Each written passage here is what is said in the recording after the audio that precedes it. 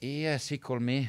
He called me. I don't remember one month, and a half ago, two months ago, and he was uh, so happy uh, what he's doing to Leicester, and he said, uh, "I'd like to come and to sing something." Oh, it's great. It's great. Why not? And then I pass. I give all my information to the club, and they make all the arrangement, everything.